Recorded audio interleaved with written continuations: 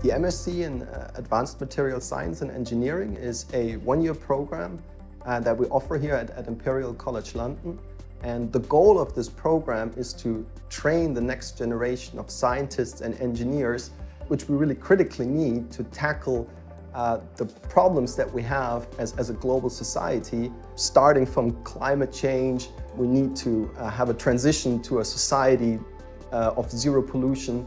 We need to um, find better ways of producing energy. We need to find better ways of storing energy.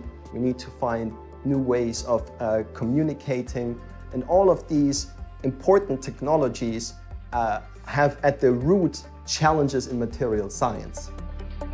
So I chose to study uh, MSc Material Science at Imperial because the course offers me a lot of choice and it really allowed me to tailor my uh, taught material to my interests, my research interests, which are photovoltaics. Uh, and there's a vibrant research community in photovoltaics as well here. Imperial College has excellent teachers and a good learning atmosphere, which are important. And also, I love the curriculum here. It's very broad, including biomaterials, ceramics, alloys, and nanomaterials. This gives me the freedom to choose the course I'm interested in. I think uh, the learning atmosphere uh, impressed me a lot. Here we study together and uh, we help each other to understand whatever we can't figure out on our own. And uh, the workshop of each course give us, uh, gives us the opportunity to discuss and uh, exchange ideas with others. What I like the most about the course, it's all the opportunities we have to learn. So during the year we have a lot of freedom to plan our own work and we also have a lot of workshops in which we have the opportunity to learn about many different topics.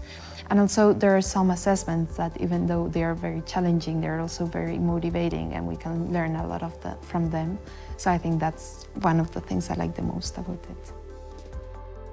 The MSc program offers uh, students a, a, thorough training in basically the full breadth of material science. That includes uh, a set of courses and lectures that they take for the first nine months of their degree, followed by a three-month research project where students are embedded into a uh, research group and do state-of-the-art research projects um, that at the forefront of science.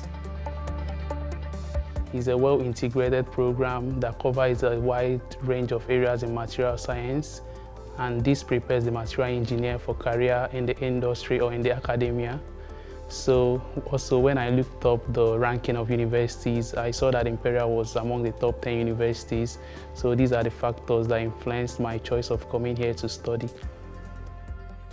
In the summertime, I'll be looking forward to carrying out my MSc research projects I'll be working on materials for thermal to electric energy application.